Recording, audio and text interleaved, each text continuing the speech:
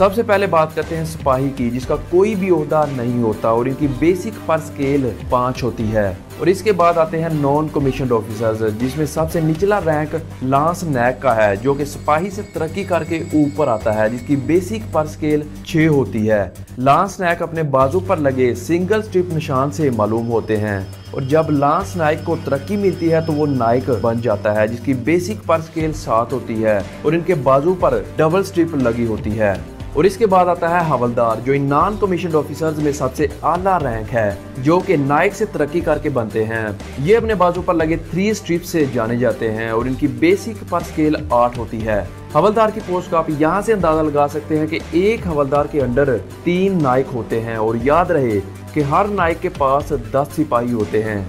Non commission officer और दीगर rank के साथ company quarter master havildar company havildar major battalion quarter master havildar और बटालियन मास्टर मेजर इनके अहदे हवलदार के बराबर हैं। लेकिन इन्हें स्पेशल लाउंस मिलता है जिसकी वजह से इनके अहदे हवलदार से बड़े होते हैं।